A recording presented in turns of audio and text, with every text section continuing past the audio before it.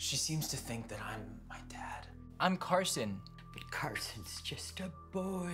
You know, she might only remember you as a child, but if you look anything like your father, then that could explain the confusion. It's him, Robbie. I'm not Robbie. Robbie's dead. There's blood on the kitchen floor. I remember everything. What happened to Robbie? I'll bite my tongue.